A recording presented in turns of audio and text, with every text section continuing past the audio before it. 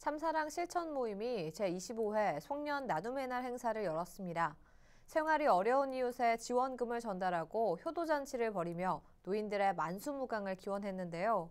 비록 적은 식사 한 끼의 나눔이었지만 주민들은 오랜만에 이웃들과 만나 따뜻한 정을 나누고 삶에 대한 희망을 공유했습니다. 김병태 기자가 다녀왔습니다. 장안동의 한 호텔에서 열린 나눔 행사.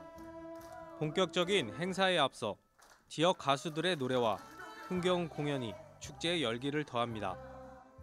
행사에서는 베이비박스 영아들의 보육비, 심장병 어린이 수술비 지원과 함께 경제적으로 어려움을 겪고 있는 청소년들에게 장학금을 지급하고 취약계층과 다문화 가정 등의 생활비를 전달했습니다.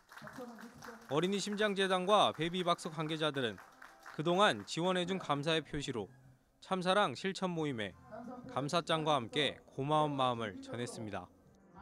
이 자리에는 유덕열 동대문구청장을 비롯해 동대문구의회 이태인 행정기획위원장 등 지역 인사들도 찾아 희망의 메시지를 전했습니다.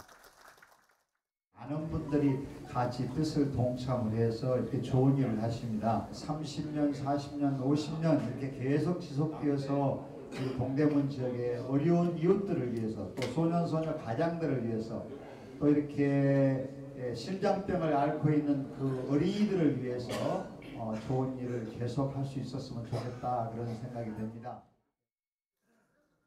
어렵고 힘든 사람들을 위해 봉사를 이어온 지 어느덧 25년.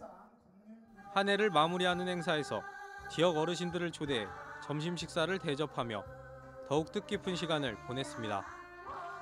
아무런 대가 없이 봉사하고 헌신하는 이들의 이런 노력은 외롭고 추운 겨울에 어려운 이웃들의 마음속 사랑의 온도를 높이고 있습니다.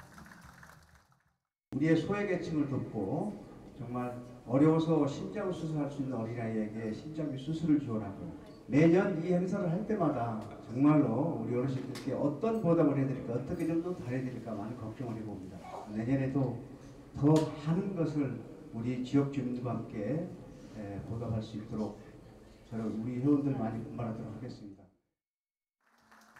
격려친 사상과 이웃사랑을 몸소 실천하고 있는 참사랑 실천 모임. 25년 이상 이어온 이들의 봉사는 현재 진행형입니다. CNB 뉴스 김병태입니다.